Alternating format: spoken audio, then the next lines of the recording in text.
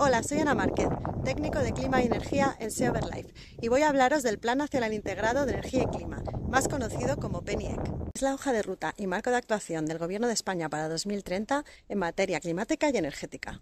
Es un documento estratégico de planificación y acción coordinada en el que se incluyen políticas y medidas para mitigar los efectos del cambio climático y avanzar en la transición ecológica de España. Supone una transformación profunda de la sociedad y la modernización de la economía para construir un futuro próspero, equitativo y sostenible. La meta es clara, descarbonizar todos los sectores de la economía en esta década. Y para ello España establece unos objetivos de reducción de emisiones, de penetración de energías renovables y de mejora de la eficiencia energética. Todos los PENIEC se encuentran actualmente en proceso de revisión por un mandato europeo, un trámite muy necesario porque tal y como están planteados actualmente resultan insuficientes para cumplir con el Acuerdo de París. Para SEO Overlife hace falta Incrementar el despliegue de renovables que sea respetuoso con la biodiversidad, las personas y el territorio.